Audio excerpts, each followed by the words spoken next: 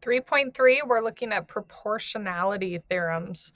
So we get these proportions when we cut things in half or when we have parallel lines. So I'm just going to go over the theorems. We have the triangle proportionality theorem. So if a line parallel to another line intersects a triangle, then it divides the two sides proportionally. So here's an example. If I look here,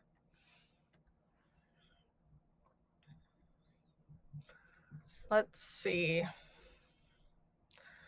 I can take this proportion right here. So 9 is proportional to 6.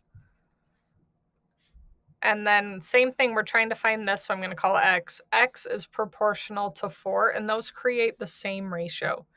So you would still solve it the same. You would cross multiply 6 times x and then 9 times 4. And then I'm going to divide both sides by 6. So that value would be 6. So we're doing the same thing. It's just knowing what proportions go together. Another thing is if we have three parallel lines that intersect two transversals, then they also make proportions.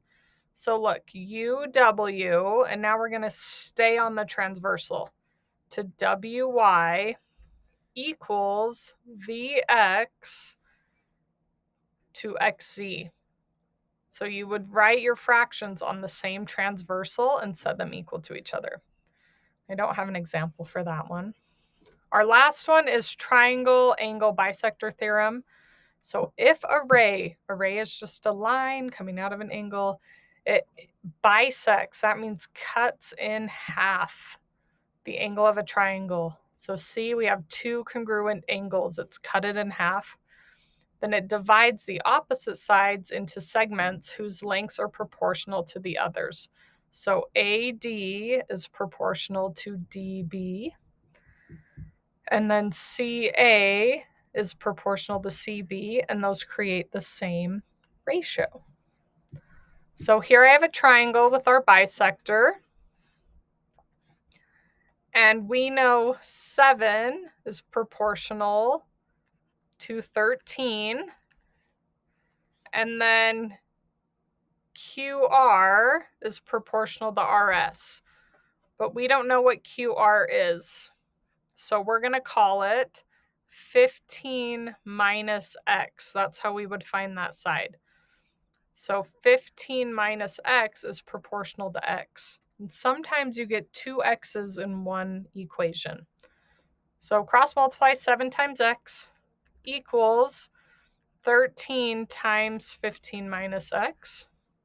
And I put the 13 in parentheses here because I need to remember to distribute that.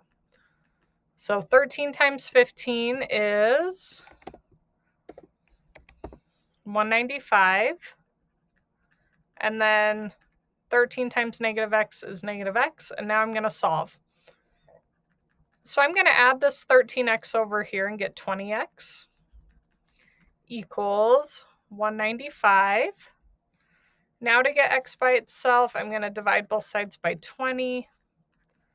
So 195 divided by 20 is 9.75.